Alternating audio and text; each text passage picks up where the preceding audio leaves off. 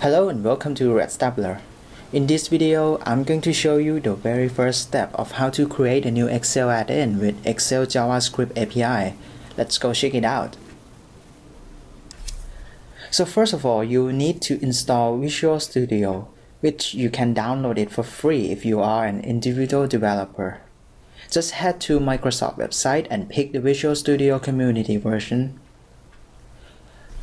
once downloaded, you will get an installer.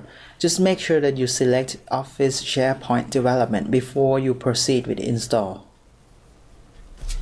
It will take a while, but once everything is completed, start a new project and select Office SharePoint add-in from the menu and pick Excel add-in. Now you will get to choose between two types of add-in. First is the add-in that will stick to the right side of Excel application and the second one is an add-in that can be inserted to an Excel sheet as an object.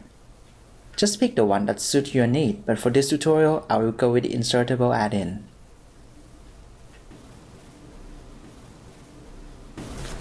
You will get to start with an example code which ready to be executed, so no need for Hello World tutorial for me. You'll see that this is basically an HTML page with script and CSS just like you work on web development.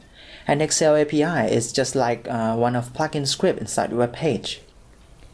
Now suppose that you have finished your coding and want to test your add-in. Just click start button at the menu bar above. It will take a while to load the add-in for the first time because since this add-in is made from web technology, it will need to run on IIS application, which is a server application, so it will take some time to start up.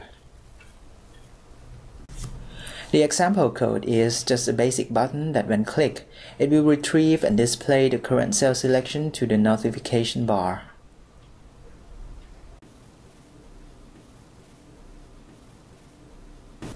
Alright, I think this should give you some ideas of how to create an Excel add-in. In the next video, I'm going to show you how to create an Excel add-in that can retrieve the stock price from the external sources. Stay tuned and subscribe if you want to see more of this tutorial. Bye!